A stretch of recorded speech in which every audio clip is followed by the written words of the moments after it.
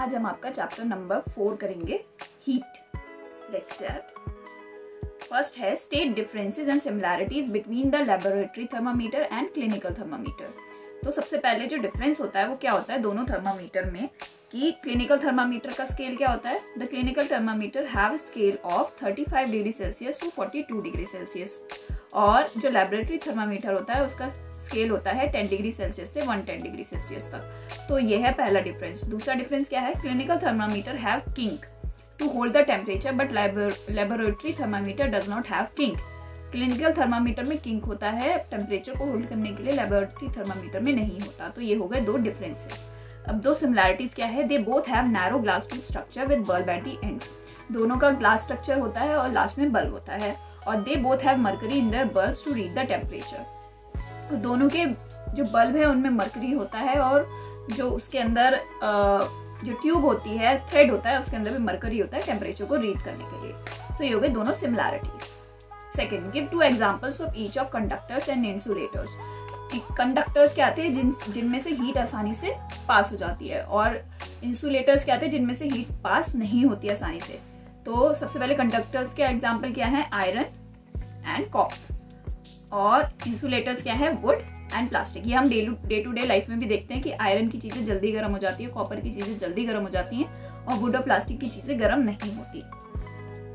Fill in the blanks the hotness of an object is determined by its temperature yes the temperature of boiling water can not be measured by a clinical thermometer temperature is measured in degree what degree celsius. No medium is required for transfer of heat by the process of radiation. Radiation से ऐसे ही transfer होता है heat का, इसमें medium की ज़रूरत नहीं होती है। A cold steel spoon is dipped in a cup of hot milk एक ठंडी चम्मच हॉट मिल्क में डाली है हमने तो इसमें हीट ट्रांसफ़र कहाँ होगी? चम्मच के एंड तक हीट ट्रांसफ़र हो जाएगी। उस प्रोसेस को हम क्या कहते हैं? कंडक्शन और clothes of dark colours absorb heat better than clothes of light colours ये चीज़ हमने सबसे लास्ट में पढ़ी थी चैप्टर में। तो ये हो गए fill the matching land breeze blows during अब जो लैंड ब्रीज है, वो किस टाइम पे होती है? वो होती है नाइट में। और सी ब्रीज कब होती है? डे में। ये हमने पूरा चैप्टर में पढ़ा था। डिस्क्रिप्शन में चैप्टर का लिंक है। आप वो पढ़े तो आपको ये बिल्कुल क्लियर समझ में आएगा। Dark colours clothes are preferred during dark colours clothes हम कब पहनते हैं? विंटर्स में। और लाइट कलर क्लोज हम कब पहनते हैं? समर्स में। सो ये हो गई matching discuss why wearing more layers of clothing during winter keep us warmer than wearing just one thick piece of cloth clothing तो इसका uh, क्या आंसर होगा? uh, हमने पढ़ा था कि uh, जो लेयर्स होती हैं कपड़ों की उनके बीच में हवा आ जाती है और हवा क्या है? हीट की बैड कंडक्टर है।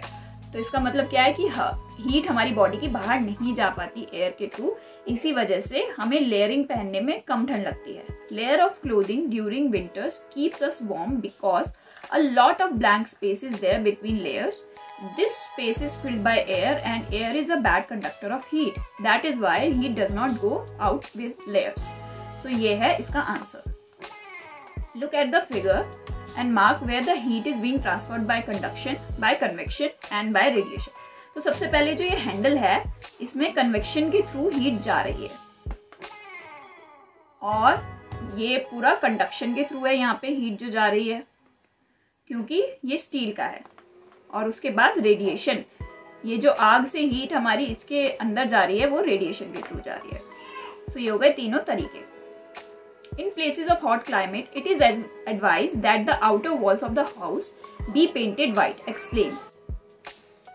जो बाहर के एरियाज़ होते हैं जहाँ पे हॉट होता है बहुत ज़्यादा क्लाइमेट वहाँ पे जो बाहर की दीवारें उन्हें व्हाइट क्यों पेंट करते हैं।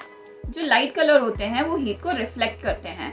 इसी वजह से व्हाइट कलर करना एडवाइज है ताकि घर हमारे बहुत ज़्यादा गर्म ना हो जाए या हॉट क्लाइमेट वाले लोगों के घर बहुत ज़्यादा गर्म ना हो जाए। Multiple choice one litre of water at thirty degree Celsius is mix with one litre of water at fifty degree Celsius the temperature of the mixture will be thirty degree Celsius की चीज़ में हमने fifty degree Celsius का पानी मिलाया है दोनों चीज़ों को। तो वो उसका जो टेम्परेचर होगा वो क्या होगा? हमें पता है गर्म टेम्परेचर से ठंडे टेम्परेचर की तरफ़ जाता है। तो जब दो चीज़ दो टेम्परेचर्स को मिलाया जाता है तो उनका मिडिल का रहता है। तो हमारा क्या होगा? Between 30 degree Celsius and 50 degree Celsius an iron ball at 40 degree Celsius is dropped in a mug containing water of 40 degree Celsius the heat will be अब दोनों का टेम्परेचर सेम है तो हीट कहीं भी ट्रांसफ़र नहीं होगी। So again not flow from iron ball to water और from water to iron ball second इसका answer a wooden spoon is dipped in a cup of ice cream. In is other end अब एक wooden spoon हमारी ice cream cup में गिर गई तो उसका दूसरा एंड को क्या होगा? अब हमारे दिमाग में तो आएगा, ठंडा होगा। बट एक्चुअली ये वुडन स्पून है, और वुडन क्या होता है? इंसुलेटर तो कुछ भी नहीं होगा does not become cold stainless steel pans ये 18 नहीं, ये इलेवेंथ क्वेश्चन है।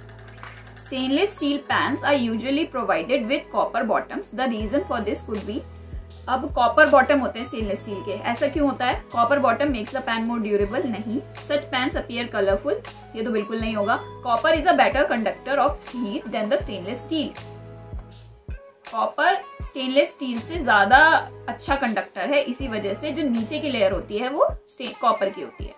सो so, ये थे हमारे सारे क्वेश्चन इस चैप्टर के। Thank you very much for watching अगर आपको कोई भी क्वेश्चन है तो आप प्लीज़ कमेंट सेक्शन में मुझे बता सकते हैं। Bye bye